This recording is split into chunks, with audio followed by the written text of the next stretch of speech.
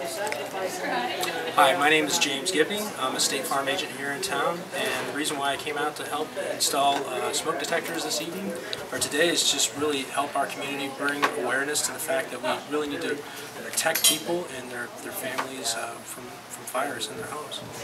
Hi, I'm Olga Cerrato, an agent also in the Rose Park area. And the same reason, we're here to, um, to support our community.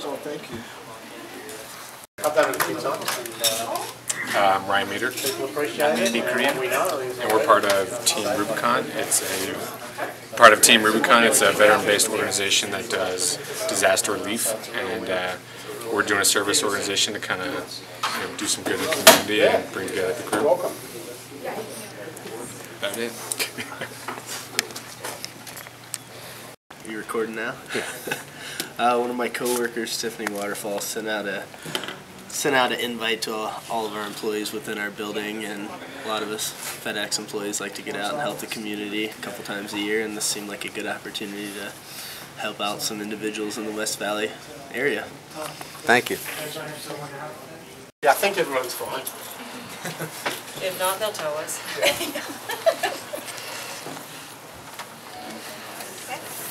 And then did you sign in on that yet? Thank you.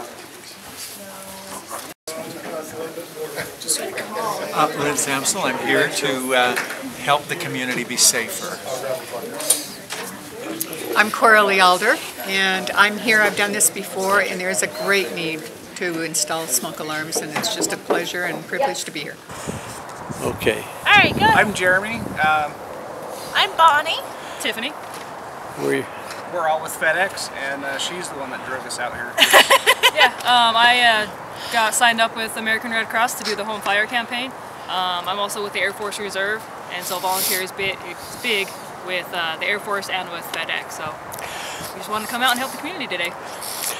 uh, how's it gone so far? really good? Really well. We've uh, been able to help two homes so far and install uh, a total of three smoke detectors. And did you give them the advice as to how to keep their homes from catching fire? We did. Yes. Bonnie's Yes, been our absolutely. educator. Yes. Um, going over having a, an escape plan. So, you know, if there's any, you know, if you need to get out quick, you have a plan ready and going over how to keep your home from catching fire. Um, all the safety. And Kitchen fires, no fireworks in the house. Okay, thank you. Yes, thank